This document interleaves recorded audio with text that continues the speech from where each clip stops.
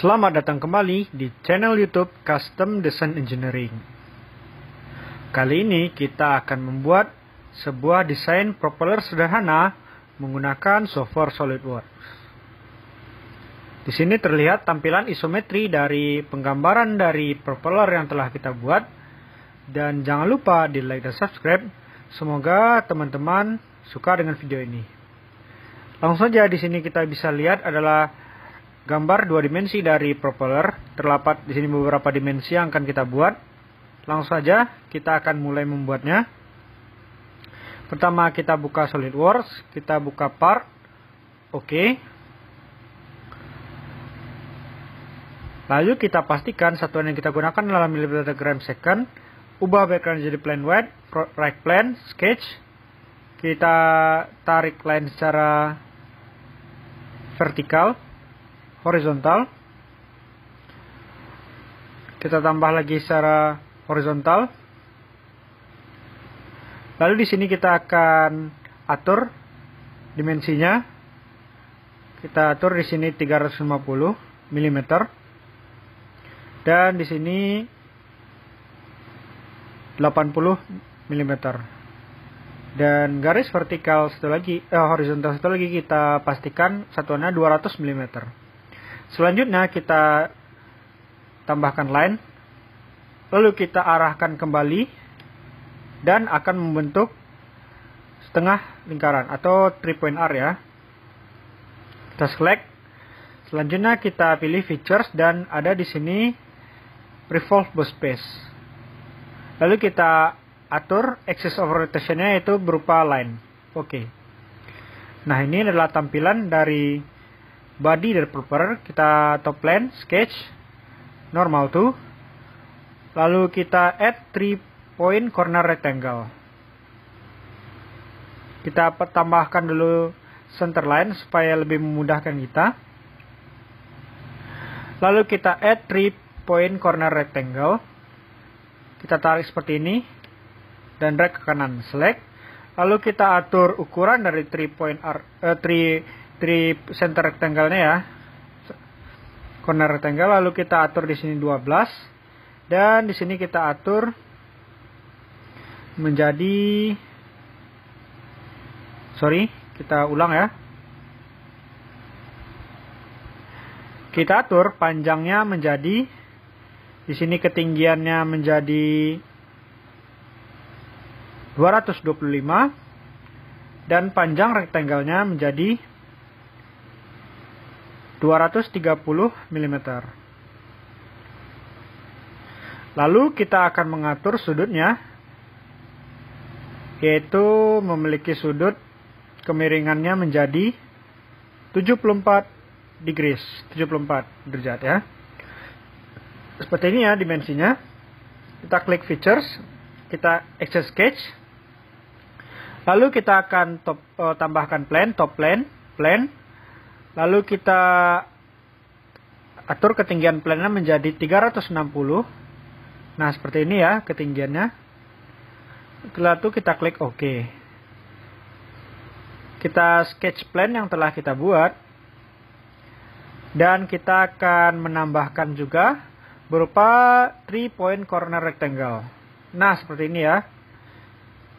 Lalu kita atur dimensinya. Di sini kita sama tingginya cukup 12 mm dan memiliki panjang sepanjang 400 mm. Lalu kita atur jarak dari sumbu origin.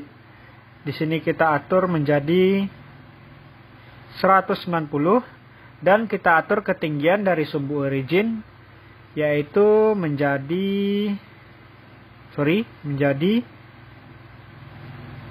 kita ulang di sini kita atur menjadi 62 mm. Oke.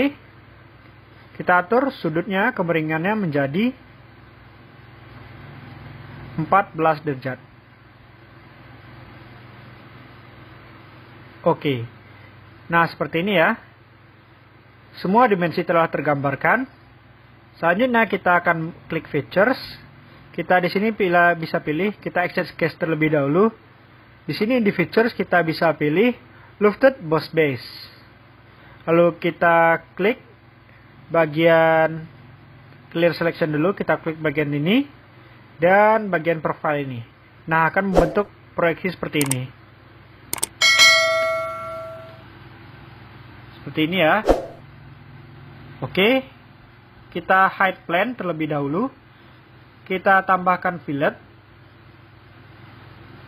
Di sini kita atur filletnya, fillet parameter menjadi 135 mm. Kita bagian kita bagian filletnya ya, bagian sayap dari propeller. Sirip propeller, oke, okay, seperti ini ya. 135 kedua sisinya. Kita klik oke. Okay. Selanjutnya kita akan memperhalus lagi dengan menggunakan fillet. Kita atur di sini 30 mm kita bagian di, diletakkan fillet di bagian siripnya. Seperti ini ya. Oke. Kita tambahkan lagi fillet.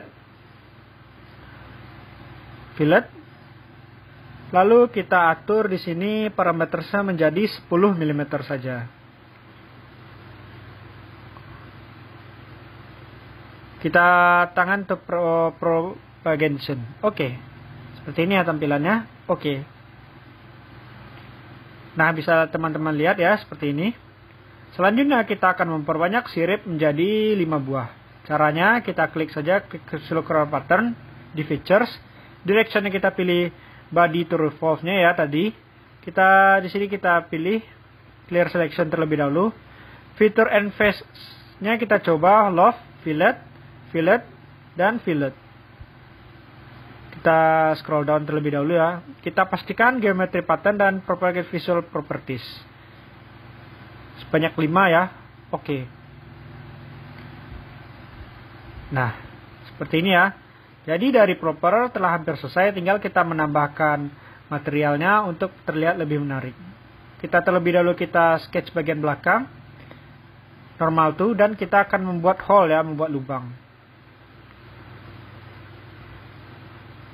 Lalu kita atur di sini ukurannya 114. Oke. Lalu kita klik features, extrude cut. Dan kita extrude menjadi 200 mm. Oke. Lalu kita akan tambahkan material ya. Kita add materialnya, kita pilih di sini coba polish aluminium. Kita bisa kita ubah warna juga sini kita saya coba menjadi warna cerah. Warna putih. Oke. Okay.